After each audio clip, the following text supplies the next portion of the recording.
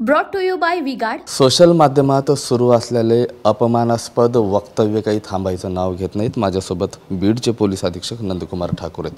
ठाकूर साहेब हे कुठेतरी थांबायला हवं मात्र थांबण्याचं नाव घेत नाही. आतापर्यंत किती गुन्हे दाखल आहेत आणि किती लोकांना याबाबतीत अटक झाली आहे? गेल्या पंधरा दिवसामध्ये सोशल मीडियामधले जे गुन्हे आहेत ते आपण एकूण अडोतीस गुन्हे दाखल केलेले आहेत.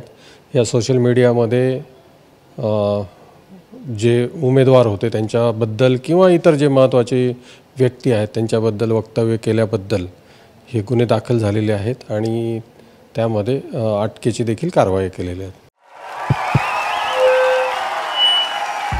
उनका बैकअप सिर्फ कल तक और हमारा चांद तक।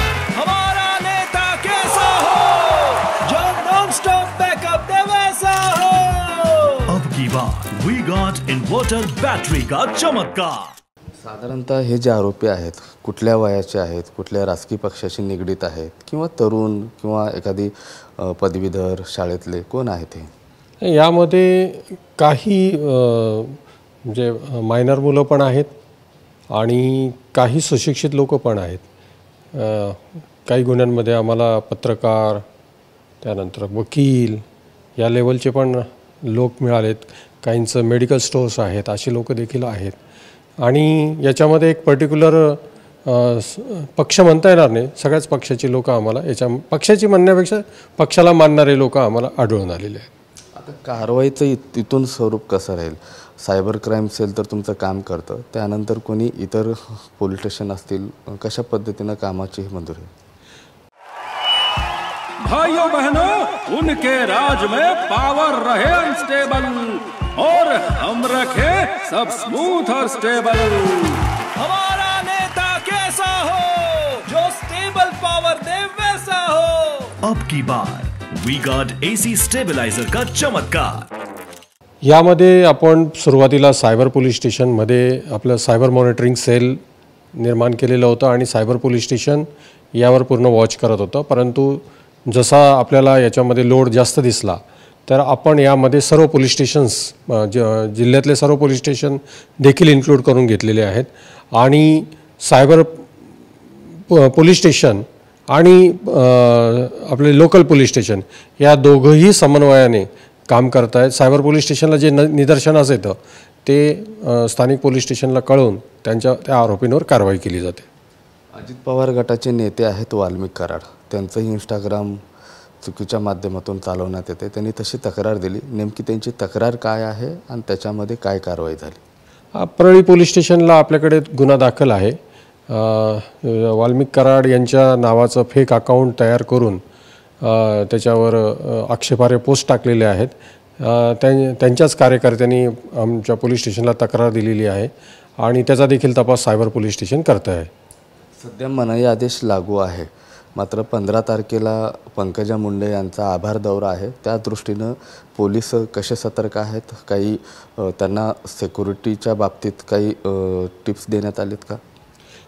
ज्या त्यांच्या दौऱ्याचं आमच्याकडे अजून तर काही रे विनंती वगैरे आलेली नाही. पण जर असेल तर आम्ही निश्चितपणाने त्याच्यामध्ये बंदोबस्त ठेवू.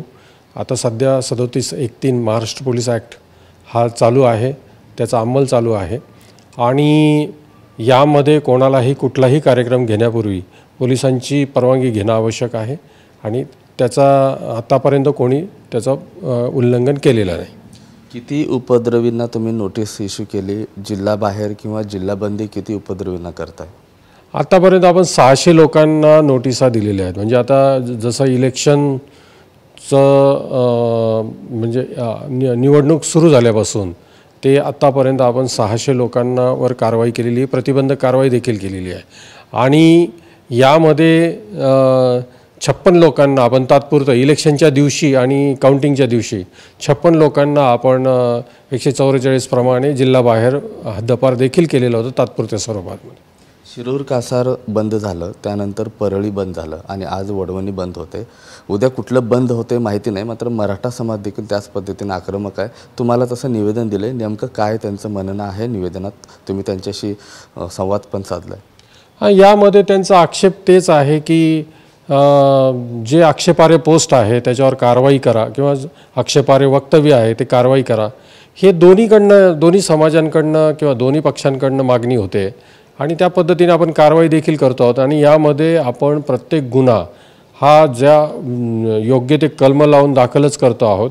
आणि प्रत्येकावर जी लिगल प्रोव्हिजन आहे त्या लिगल प्रोव्हिजनप्रमाणे देखील कारवाई करतो आहे आता जो शिरूरमध्ये बंदचा जी घटना घडलेली होती आणि त्याच्यामध्ये जे वक्तव्य केलेलं होतं त्या संदर्भात देखील पोलिसांनी स्वतःहून गुन्हा दाखल केलेला होता.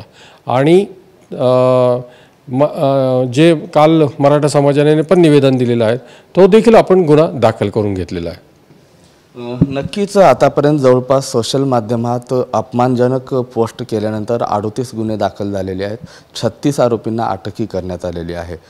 या दरम्यान कोणाचीही गय केली जाणार नाही त्यामुळे सोशल माध्यमात पोस्ट करताना काळजी घेणं गरजेचं आहे. अन्यथा पोलिसांच्या कारवाईला सामोरे जावं लागणार आहे. कॅमेरा पर्सन हर्षल निकमसह मी Mahendra Kumar Mudholkar T V nine Marathi Beed. Brought to you by Vigard